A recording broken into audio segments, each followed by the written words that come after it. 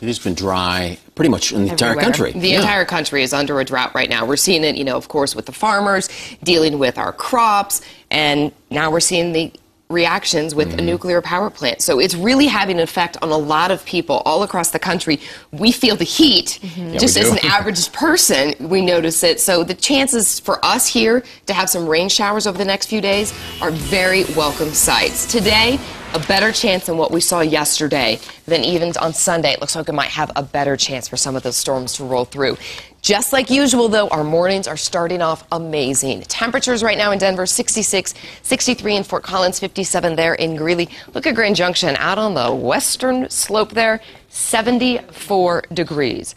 Most of us in the front range are in those 60s, just a few of us in those upper 50s. We are going to warm up really nicely, though. You're going to notice our temperatures quickly jumping into those 80s, almost to 90 degrees by lunchtime today. And then we're going to halt right around the mid 90s. Maybe 94 degrees is going to be our high for today. Our average temperature this time of year is 90, so we're going to be just a little bit above average. We will start to see those clouds increase at noon. That's also where the storms are going to start picking up in the mountains. They're then going to push towards that I 25 corridor. We have a chance to see some storms in the early afternoon hours. Then we're going to get a slight break of some of those storms here in the metro area, but they're going to push north. We're going to see them north of I 70, even north of Fort Fort Collins area, right along the border through the overnight hours. So let's look at Futurecast and I'll show you how this all plays out. As we put it into motion, you're going to start to see some of the storms, the chance of them to pop up right between 11 and noon. Those, as I said, are going to push towards that I 25 corridor. But you see this band, this is what's going to possibly form right along that I 70 corridor and then kind of track right on up.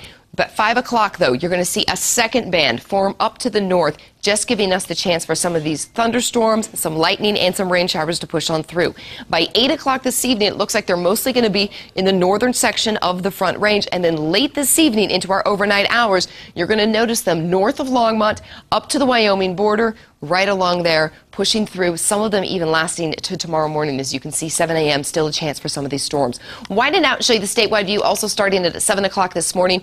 Before noon, most of the storms are going to be west of that I 25 corridor. Then we're going to see some of them creep across, giving the northeast portion of the state a chance for some of these storms. However, it still does look like, I'm sorry, the north, yeah, the northeast portion looks like the southeast portion is still going to remain pretty dry. So for our highs for today, 94 here in Denver, 95 in Greeley, 93 in Fort Collins. The mountains are going to be pretty warm as well. Look at this, 80 in Winter Park, 84 in Eagle. However, Leadville is going to be a little bit cooler there with 70 degrees. Now down south in the front range, we're going to notice some cooler temperatures, 89 in Castle Rock, and then we're going to warm again. 91 in Parker and in Littleton, 94 in Brighton and Longmont, and then 93 in Fort Collins. As we look at our seven day planner, you're going to notice a warm up even tomorrow into the mid to the upper 90s, increasing our chance for some storms. Those storms tomorrow look like they're going to be late day, maybe overnight hours.